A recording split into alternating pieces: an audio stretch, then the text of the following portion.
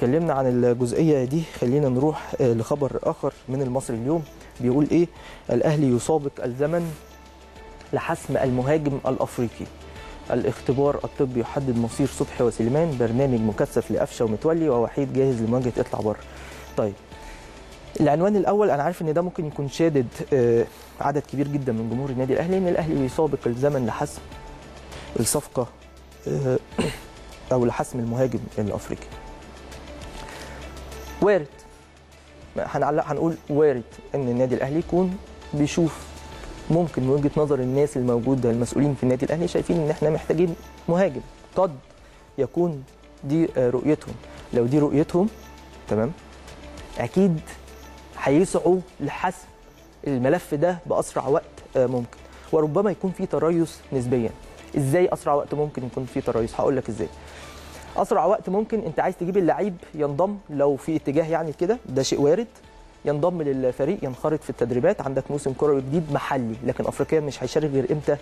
في شهر واحد مع آه، طبعا فترة القيد الجديدة في الاتحاد الأفريقي لكرة القدم والاتحاد المصري بشكل عام يعني. فعشان كده في تريث ليه؟ إن أنت ما تتسرعش تجيب مهاجم وأنت ممكن تجيب واحد أحسن منه. فدي ممكن تكون آه، جزئية مهمة جدا. النادي الأهلي أو المسؤولين لجنه تخطيط للكرة. مستر لاسارتي كابتن خطيب بينسقوا بخصوص هذه الجزئية. وارد وارد إن هم يكونوا بيفكروا في هذه الجزئية. وده خبر على حسب آه، أو على عهدة المصري اليوم. الاختبار الطبي يحدد مصير صبحي وسليمان. رمضان صبحي عنده كدمة في وجه القدم وليد سليمان عنده إجهاد عضلي. آه، ده طبعا كانوا آه، ناتجين عن مباراتي الأهلي مع المقاولون ومباراة الأهلي مع الزمالك. برنامج مكثف لقفشه ومتولي. إحنا خلاص قلنا إن هم بيشاركوا في التدريبات الجماعية بشكل كامل بالإضافة طبعا لأليو آه، ديانج.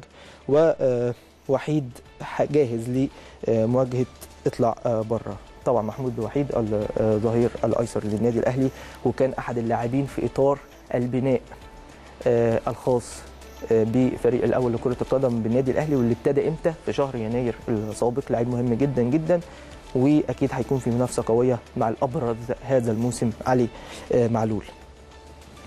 نروح لليوم السابع وبتتكلم في نفس السياق. الأهلي يرصد 35 مليون آه، جنيه للتعاقد مع مهاجم أجنبي في الصيف. قد يكون هناك محاولات آه، في الحقيقة آه، تدعيم خط الهجوم بالنادي الأهلي. آه، هنعرف حقيقة هذه المحاولات على مدار الأيام المقبلة. وكمان بيقولوا دراسة آه، إقامة مباراة ودية قبل مواجهة اطلع بره ده اللي قاله لنا كمان مراسلنا كريم أحمد إن آه، فريق آه، اطلع آه، بره هنستعد له بنسبة كبيرة. يعني لسه كابتن سيد عفيظ بيشوف الجزئية دي. هل هيكون في مباراة ودية؟